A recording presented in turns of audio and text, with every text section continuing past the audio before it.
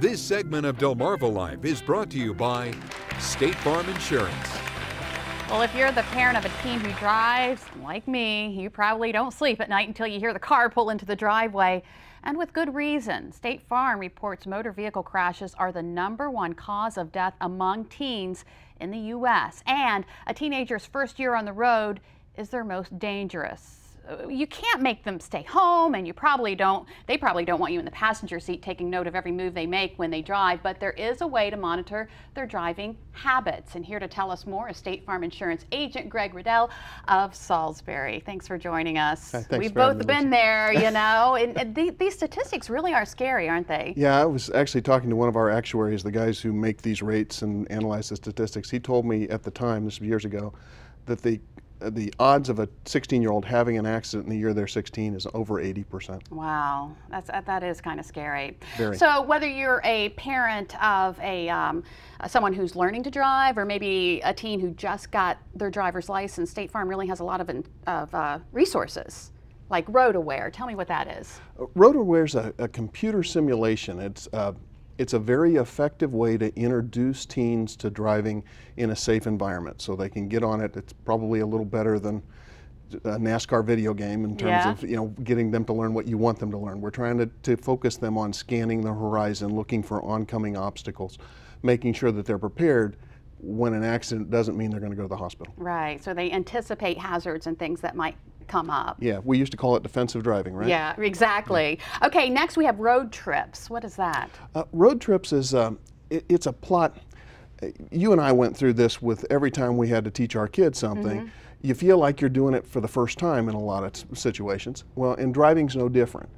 Uh, road trips is a way to kind of create a lesson plan. So you map out what you're trying to get accomplished in advance lay out a, a, specific path to go down so that they uncover all the things they need to do.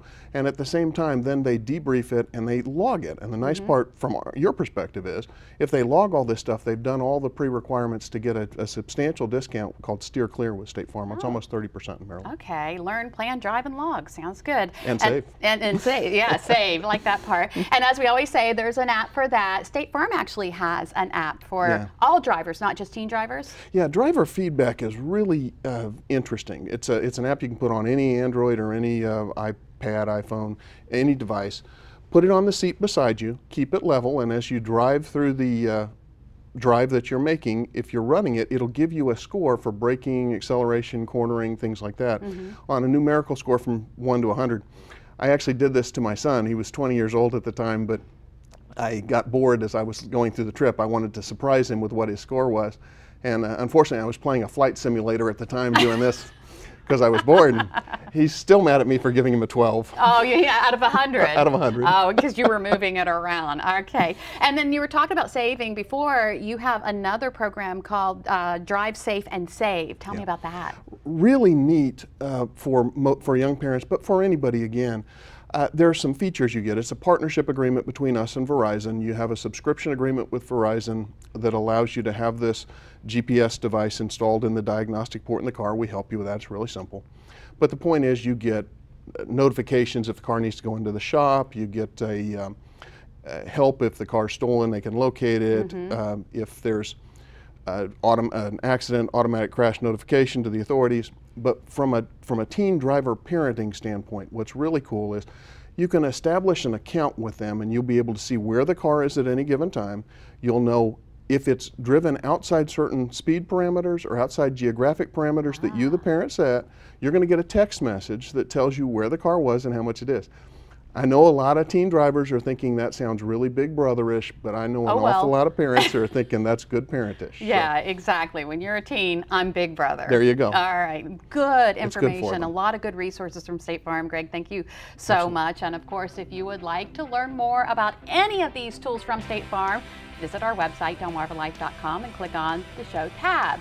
Let's go to Jimmy now with more information on other technology that can help us monitor our teens' driving habits. We have done story after story on Delmarva Life about how technology has changed the way we socialize, the way we pay our bills, the way we shop, the way we live.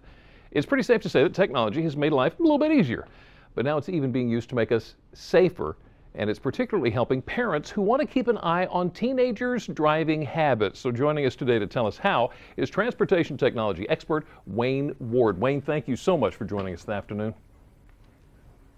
Thanks for having me. Wayne, really I gotta, appreciate it. I got to tell you, I'm the parent of a 17 year old myself who just cringes knowing that he's getting behind the wheel and that he's armed with a cell phone and loves to text. What can I do? They do, and I have two daughters that are approaching driving age as well, and, and I know exactly what you mean. So obviously, putting putting the phone in the glove box or the trunk, you know, will work. But a lot of people don't have a tendency or desire to do that. So we're bringing technologies to the forefront, such as Drive First. They'll allow folks to download a, a simple app that basically blocks texts and emails when the car is in motion. Really? And it's a simple app, it's free, and it enables you to have peace of mind.